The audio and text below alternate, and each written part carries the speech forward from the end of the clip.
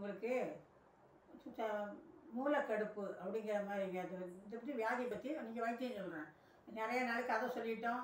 அதனால் இன்றைக்கி கொஞ்சம் மருந்துகள் சொல்கிறேன் மருந்துன்னா இப்போ உள்ள பிள்ளைகள்லாம் எண்ணெய் தேய்ச்சி குடிக்கிறதில்ல த தலைக்கு எண்ணெய் தேய்க்கிறது இல்லை நிறைய தண்ணி குடிக்கிறது இல்லை அதோட எல்லாமே வெளியே போகிற வேலை வேலைக்கு போகிறதுனால அவங்க தாங்கள் தண்ணி கூட குடிக்க பயந்துக்கிட்டு ஏன்னா பாத்ரூம் போகணுமே அப்படின்னு பயந்துக்கிட்டு தண்ணி குடிக்கிறதுனால நிறைய பேருக்கு மூளைச்சூ கடுப்பு மூளைச்சூடு நீர் சுருக்கு இப்படின்னு பல வியாதிகள் வருது. அதோட ராத்திரி ரொம்ப நேரம் ஐபாடு பார்க்குறது செல்லு வச்சு பார்க்குறது அப்புறம் டிவி பார்க்குறது அதுக்கப்புறம் அப்படியே பன்னெண்டு மணி ஒரு மணிக்கு முடிச்சிருக்கிறதுனாலையும் இந்த உடம்புல சூடு அதிகம் பண்ணால் சூட்டினாலையும் நிறைய பேருக்கு மூளைக்கடுப்பு மாதிரி வரும். மூளைக்கடுப்புனா என்ன? வெளிக்கு போனால் ரொம்ப சிரமப்பட்டு வெளியே போகும். சிலருக்கு ரெண்டு நாள் மூணு நாள் கூட வெளியே போகாது. அவங்க அவங்க முக்கிய முனை போகிறதுக்குள்ளே அந்த இடம்ல ஆசன வாயெல்லாம் அப்படியே புண்ணாக போகும். அந்த இடம்லாம் அறுத்து ரத்தம் கூட சமையல் சமைக்கிற சிலருக்கு வந்துடும் அப்படி இருக்கலாம் டாக்டர்கிட்ட போனால் டாக்டர் என்ன சொல்லுவார்? உடம்பு சில டாக்டர் மாத்திரை கொடுக்குறாங்க சில டாக்டர் என்ன செய்வாங்க? அது கொஞ்சம் மூலம் தள்ளி இருக்குது அதை கொஞ்சம் ஆப்ரேஷன் பண்ணணும் அப்படின்னு அந்த மாதிரி வைத்தியம் பண்ணுறாங்க அதெல்லாம் இல்லாமல் சுலபமாக சின்ன வைத்தியமாக அவங்களுக்கு சொல்கிறேன் கேளுங்க கே நீங்கள் செஞ்சுக்கலாம். கைப்பக்குவமாக நம்ம வெள் வெங்காயம் இருக்கும். வெங்காயம் இருந்தால் வெங்காயத்தில் வெள்ளை வெங்காயம்னு இருக்கும். நம்ம சிவப்பு வெங்காயத்தை விட சிவப்பாயமும் போடலாம் அது கிடைக்கலன்னா இந்த வெள்ளை வெங்காயத்தை நல்லா நெய் உரிச்சிட்டு நல்லா நெய் விட்டு நல்லா வதக்கிட்டு அதை பனங்கள் கூட நசுக்கி தினம் ரெண்டு ரெண்டு உண்டை சாப்பிட்டாலே அந்த சு மலை ம- மலம் போகிற இடத்துல வலி இருக்காது மூளைக்கடுப்பு இல்லாமல் போயிடும். பசலைக்கீரை பசலைக்கீரைன்னா நம்ம கொடி பசலை யூஸ் பண்ணக்கூடாது. தரையிலோட தரையாக ப படர்ந்துருக்கிற பசலைக்கீரையை அடிக்கடி பருப்பு பா பாசி பருப்பு போட்டு கூட்டு வச்சு சாப்பிட்டாலே மூளை சூடு கேட்கும். வெட்ட சிலருக்கு வெட்ட வெள்ளை வெள்ளைப்படும் அந்த வெட்ட சூடு கேட்கும். அப்படியே நீர் சம்மந்தப்பட்ட யாதிலும் பல இது கேட்கும். பிறகு செய்யலாம். அப்புறம் கேரட்டை நல்லா ஜூஸ் எடுத்து அதில் பனங்கள் பழுக்க பனங்கள் கிடையாது தேன் விடக்கூடாது. தேங்காய் போ போட்டால் கொஞ்சம் வெளியே போகிறது இன்னும் இறுக்கமாக இறுக்கம் கொடுக்கும். அதனால் பனங்கள் கண்ட நுணுக்கி அது கூட போட்டு கலந்து குடிக்கலாம். அப்புறம் இது ஜாதிக்காய். ஜாதிக்காய் மாஸ்கான்னு கேள்விப்பட்டிருப்பீங்கல்ல? அதில் ஜா மாசிக்கான்னு இருக்கும். அந்த மாசிக்காயை எடுத்து இந்த சிலருக்கு அந்த வெடிப்படிப்பாக ஆசனாயில் வெடிப்படிப்பாக இருக்கும்ல அதில் வந்து ஜா வந்து நல்லா இழைச்சிட்டு அது கூட கொஞ்சம் வெண்ணெயை போட்டு குழப்பி ஜ- நல்லா இழைச்சி எடுக்கணும். அப்படியே ஏதாவது திக்காக இழைச்சி வந்தோன்னா அதில் ஒன்று வெண்ணெய் கலந்து அந்த ஆசனா தடவலாம். அப்படியும் இல்லை. அவங்க வெண்ணெய் இல்லைன்னா என்ன செய்யணும்? அந்த மா மா- மாசிக்காயை நல்லா இழைச்சி விளக்கெண்ணெய் விளக்கெண்ணெயில் குழப்பியும் அந்த ஆசனா வெடிப்பில் போட்டால் அந்த வெடிப்புலாம் போயிடும். சரி மாசிக்காயும் இல்லை.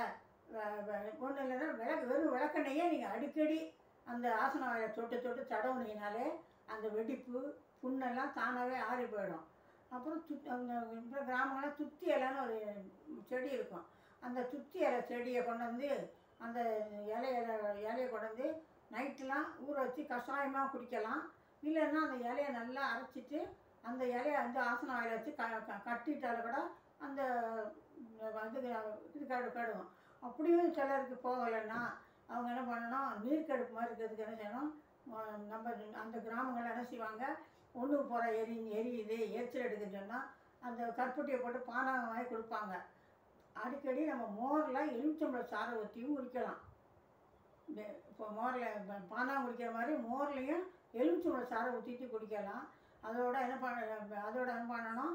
நம்ம பேரிச்சம்பழம் இருக்கு இல்லையா? அதை ராத்திரிலாம் ஊற வச்சு காலையில் நல்லா அதை பெச நசுக்கி பிசைஞ்சு சாறு எடுத்து அதில் ரெண்டு நெல்லிக்காயை நசுக்கி அரை அரை ஸ்பூன் நெல்லிக்காய் சாறு விட்டு அதையும் நம்ம குடித்தாலும் நல்லா நல்லா நல்லபடியாக இருக்க- உடம்பு நல்லா நல்லா இருக்கும்.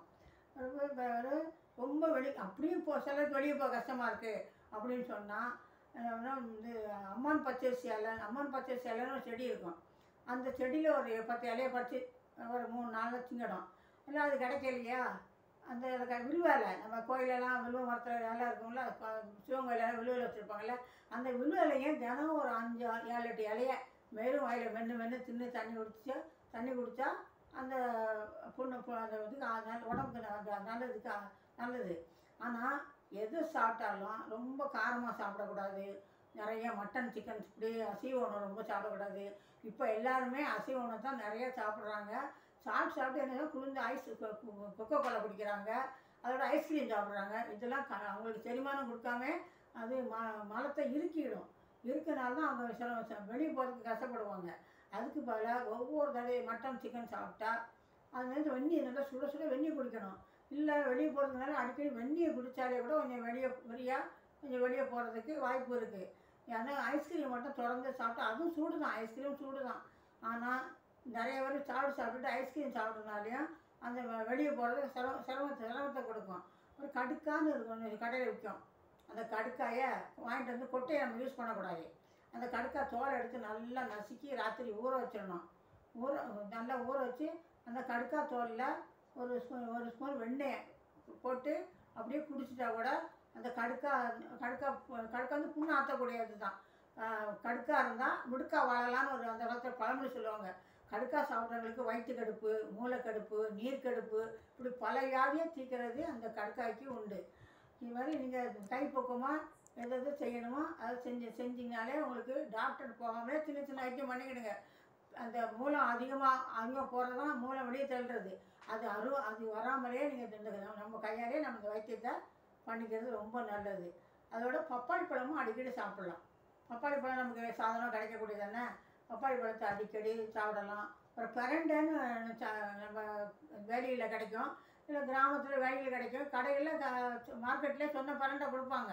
நம்ம வீட்டிலேயே ஒரு பிரண்டை பிரண்டையை ஊனி வச்சா பிரண்டை செடியை நல்லா வளர்ந்துடும் அந்த பிரண்டையை கொண்டு வந்து நல்லா சுத்தம் பண்ணிவிட்டு அதை நெய் விட்டு நல்லா வதக்கணும். வதக்கிட்டு ஒவ்வொரு சின்ன ஒரு கோ கோழி குண்டு அளவு ஒரு மூணு நாள் வெறும் வயிற்றுல சாப்பிட்டாலே அந்த இது பிரண்டை பிரண்டை வயிற்றை சுத்தம் பண்ணுறது தான் நம்ம உடம்பும் நல்லாயிருக்கும் வய வயிற்று சுத்தம் பண்ண சு- வயிறு சுத்தமாகும் வெளி வெளியே சாதாரணமாக போகும்.